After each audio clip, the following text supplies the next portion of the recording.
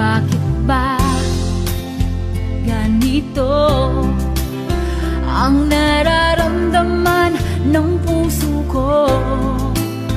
Di naman ako ang pag-ibig mo Magkaibigan lang naman tayo